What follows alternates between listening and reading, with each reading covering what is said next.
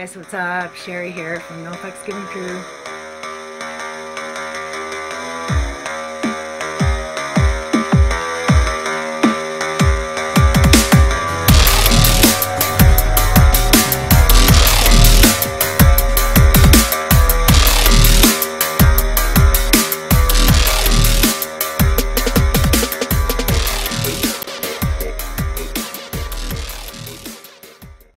Hi guys, welcome to this week's Divine Masculine reading for April 28th until May the 1st. Uh, let's see, what type of reading should we do? Um, I we'll do a Celtic wing. Yeah, no. Um, what to do?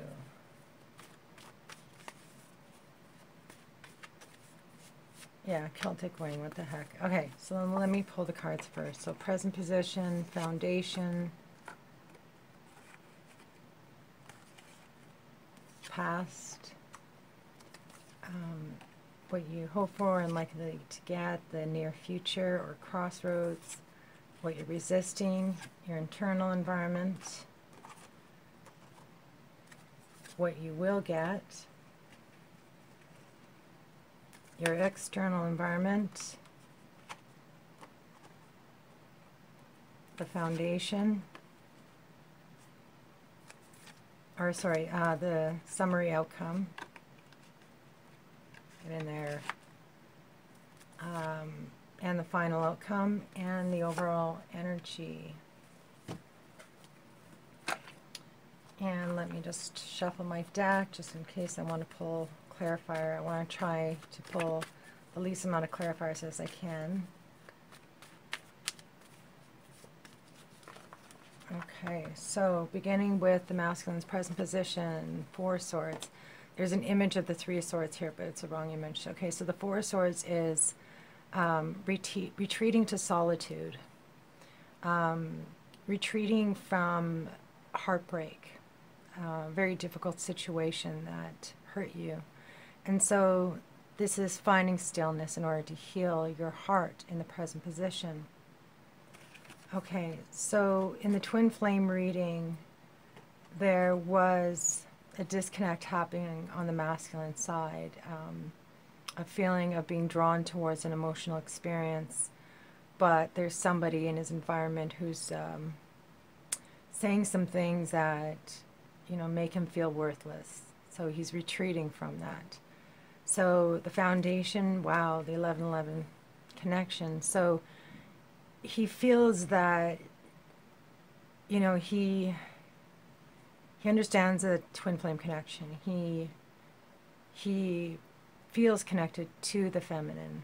He desires it. And but at the present he is disconnected from it. Okay, so the past position, wow, the Nine of Cups. Feeling like your wishes and dreams have come true. You felt emotionally fulfilled when you were in that connection with your twin flame, that true love, and you, you felt like life was a party and you celebrated life. Okay, so what do you hope for and likely to get? So the Seven of Cups. Um, clarity. You know, this came in as a present position in the twin flame reading. So confusion, um, knowing what you want, not knowing how to get there. So reconnecting with that um, Nine of Cups and 1111 connection, um, needing to make a decision. So there's a lot of thought and consideration going into his next move. Crossroads position, Two of Pentacles, this change, the wind of change, um, feeling off balance. So this is a seed being ground, um, planted and taking root. Um, and it's going to bring abundance into your life. But really, this is a feeling of being off balance. Okay, so what are you resisting? Ten of Wands. So you're resisting putting down the burden. You're caught in the machine. You feel like you're giving a lot of yourself. So you know, the crowning energy for the twin flame connection was the Nine of Wands. so this is wanting to, you know, needing to battle for something, needing to struggle to get to a certain point in your life, um, and being exhausted. Whereas the Ten is, you know, collapsing in exhaustion. Your body can't handle the stress, so you're resisting. Um, you know, putting an end to something that is causing you a burden. Your internal environment, Six of Wands, feeling like the rock star, feeling excited, feeling um, encouraged to move towards the thing that makes you happy. So you're being drawn internally towards an emotional experience. Um, and you feel like you're on the right path but you're exhausted. Your external environment is the death card transformation. So there's major changes coming in. Um, and it's going to transform you for the best, you know, to help you become the best you you can be. So you are putting an end to something, and we saw that also in the twin flame reading, facing your fears. Um, you know, there's a dark night of the soul that you are moving through right now. So this is death of the ego, major, major transformation coming in. So it is causing you to, you want this change. You want the change to take effect.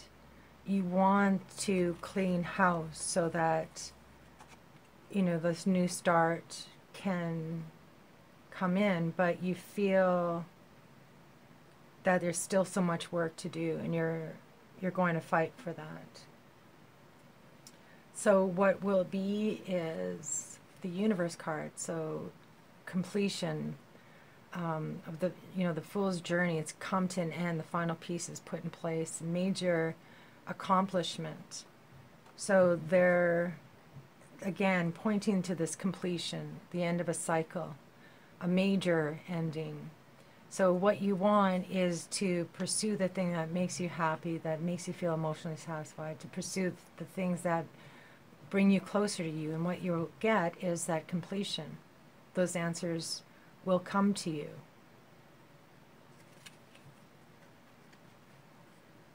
You have to roll with the punches. Okay, so the summary outcome is the Five of Swords. Okay, so we saw this card coming in. Um, in the past, future for the masculine. So, you know, it's being triggered. Um, negative energy, finger pointing. We see a four of swords in your present position. So, as a summary, you want to move away from this type of energy. You are trying not to burden yourself from with it, and you're trying to be optimistic and look at the future and, you know, but something is ending in your environment. You're cutting something out of your life, something that was negative,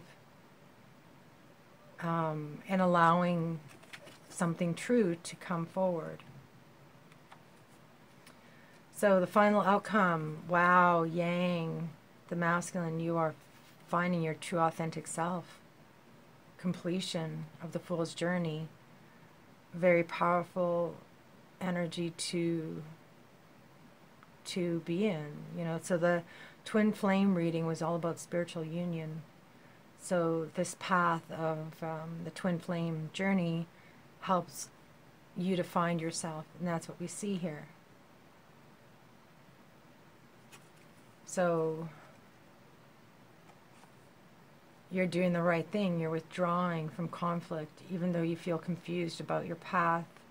Those answers will come. You will see the light. So don't be afraid of transformation. Transformation and change is a scary thing.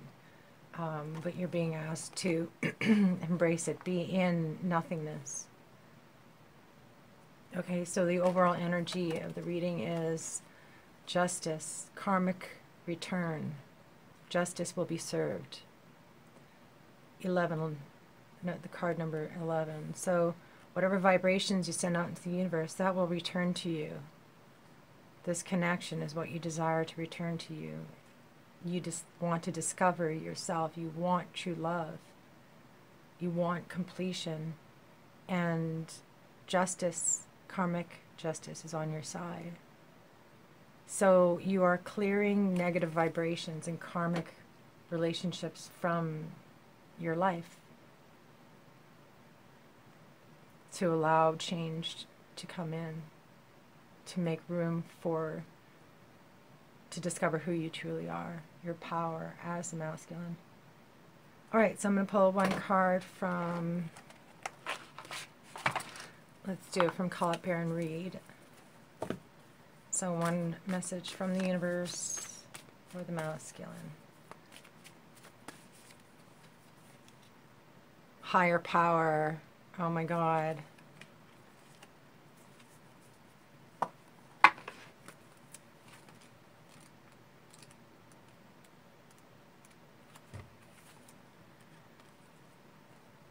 Okay.